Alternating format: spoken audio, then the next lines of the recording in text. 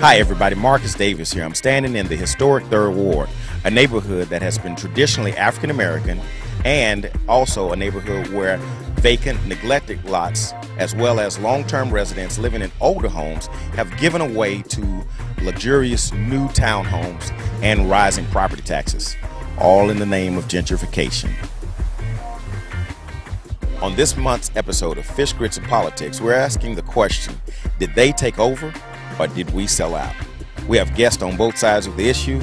Sign up at fishgritsandpolitics.com and get your seat at the table for our live taping July the 23rd at the Breakfast Klub. Gentrification is it us or is it them? Let's talk about it.